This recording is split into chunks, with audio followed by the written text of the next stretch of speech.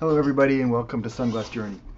This is my in-depth video on sunglass mirrors and this has been kind of a long time in the making trying to get this video up and put it all together um, but this is like a kind of a long form take um, talking specifically about how sunglass mirrors affect the optics of a sunglass. I'm going to roll out a shorter video for those that might have a shorter attention span or just really um, don't want to sit through 10 minutes of me um, talking about this that'll just kind of cut to the chase. But this one is going to go into um, you know specifically how mirrors affect the optics of sunglasses. I think in the industry there's a focus on the mirror as like a like a fashion piece. So it's um, you know if you go into a website and you sort glasses by color, it's going to um, show you the mirror as the color of the lens. Um, but it really doesn't tell you what the optics of the lens is like. It's like kind of a superficial take. Um, you know, if you're really just trying to pick something that you want to, to look cool, then that's fine. But um, there's actually a lot of really exciting things that, that mirrors do. They really affect the uh, the optics of the sunglasses quite a bit. And so I think it's um, if you're kind of into that and you want sunglasses to work well for their intended purpose of reducing light, it's good to know how those mirrors are going to affect what you see. This video is just going to go into how the uh, how the mirror functions optically, and I'm going to do another video that goes more into um, more like use cases and I'm going to talk about a mirror as a specific ingredient that goes into a lens recipe and um, and how it's going to affect the performance of that lens and how you might better choose lenses um, knowing what the mirror is and how that's going to going to affect that lens. So keep an eye out for some some later videos that get a little bit more hands-on. Before I explain how a mirror works, I want to first go over how a basic lens works because the mirror is going to build on top of that. So this is a, a clear lens like you'd have in a pair of untinted glasses. It's going to pass white light and it's going to look basically the same on the other side of the lens. If I tint the lens to a brown, which is really kind of like a dark red, I'm going to get brown light. I'm going to see brown light on the other side of this lens. And if I switch the light so it's coming from the other side of the lens, I get the same effect. It's going to pass brown light through the lens. Now another way to look at this is to break the light into the triadic components, so red, green, and blue. And so shining those three different light colors through clear lens, you get the same levels of those three colors. If I change the lens to a brown, which again is like a red-based lens, just, just a little darker, the lens is going to absorb the green light and blue light into the lens material and dissipate it in the form of heat. And the result is that there's going to be reduction in those two colors. So we'll see less of the green and less of the blue, and we'll see more of the red. So here's another way to look at the same thing that I just described. So this is the triadic color wheel. And so what that means is that you're basically splitting white light up into three different colors that are evenly spaced around the, the color circle here. So it's like red, blue, and green. And so if my tinted lens is red or brown, brown is basically just a like a dark red, the two complementing colors are blue and green. So that red lens is going to let more red light pass and it's going to absorb the blue and the green light. So this is a brown lens, this is a Vuarnet non-polarized brown. And so no matter which way I look through it, basically looks the same. There's a little bit of anti-reflective coating on the inside, so there's some purple, but passes brown light pretty much the same way through both sides of the lens.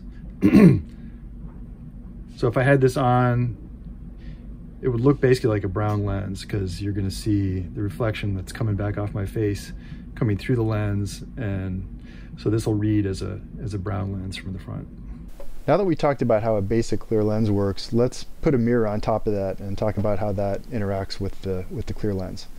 So here again, I've got a lens, that kind of curved thing, and I've got light coming from the, the right and passing through to the left.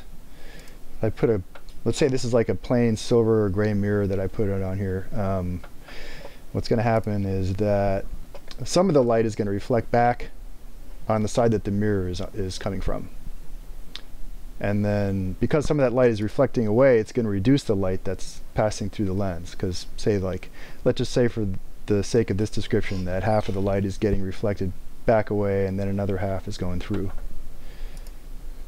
Um, but if I switch the direction of the light, it's just going to pass through. It's not going to reflect from the left. It'll pass through un uninterrupted from the right.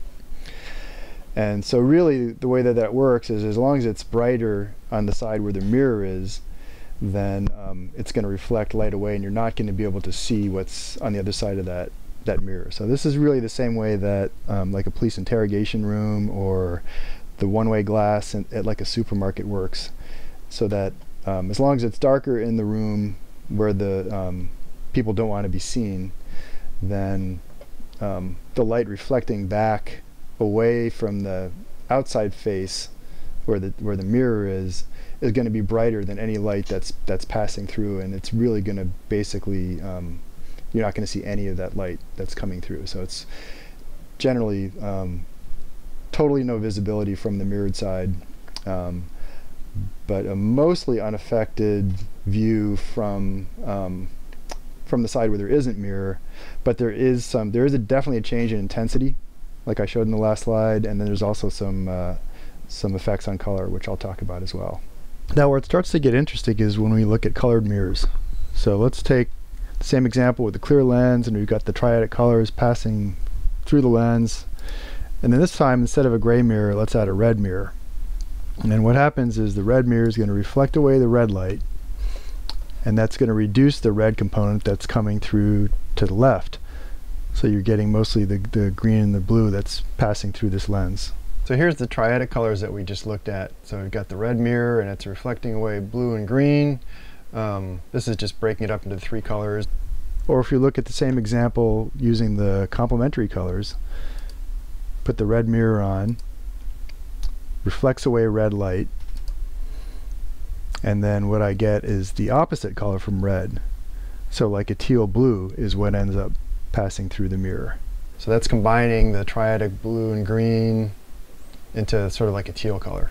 From the outside of the red mirror, you're going to see that red light reflecting out, but from inside the mirror, you're going to get the opposite color from red. So this kind of like teal blue color is what um, is the way that mirror is going to shift the light as you see it through the lens. So let's look at this in a real world example. So this is probably about the best example I could think of of um, being able to compare lenses that have exactly the same base tint with different mirrors on them. So these are the um, all Maui Jim, and they're all the gray lens with um, different mirrors on them. So the one on the left has got a subtle gray silver mirror, and then we've got a blue mirror, and then we've got a green mirror.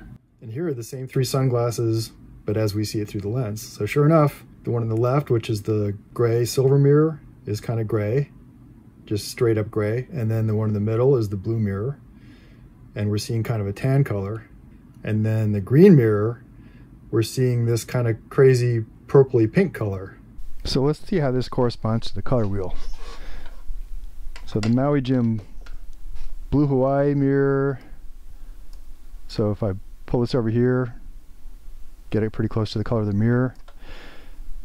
The complementary color is this kind of like orangey yellow. So indeed, just like we saw through the lens, what I'm getting is a boost of the opposite color from the mirror color. And then for the green mirror, so if I pull this over here to the green, sure enough, the opposite dot is kind of a purple. So with that green mirror, what I'm actually seeing through the lens is the opposite color, which is that purple color. So to summarize how we're going to figure out what a mirror is going to do to the, the experience that you get when you're looking through the lens, we're going to pull up a color wheel like this and this one is from canva.com um, but you could even look at one that's just like a fixed um, if you just google a color wheel and you get just a fixed thing like this that'll work too. But this is kind of cool because it um, it's a little more interactive. And so the gist of it is that if we move this dot around so the big dot and that corresponds to this little guy down here and I match that to the mirror on my sunglass, this complementary color over here, which is the one on the right, or this where the small dot is, is the effect that you're going to get through the lens. So it's going to shift the light to this complementary color. Now it's never going to be quite that bright or intense. Now, as soon as you put a mirror over some kind of a colored tinted lens, that's when things really get interesting. And I'm not going to cover that in this video. That's going to be the subject of, of another video. And um, there's a lot of other little interesting things that happen with mirrors um, that I want to go over as well. So that'll be another video to look out for, which is going to be looking at some real life examples or some recipes um, that you can do this way. And this is where I think um, you know, if this video that I did is just the theory, um, the next one is a little more exciting because it's um, it's actually some of the um, some of the effects you can you can get by by combining some of these different things together. So keep an eye out for that video and please subscribe to my channel and uh, give me the thumbs up if you found this video helpful.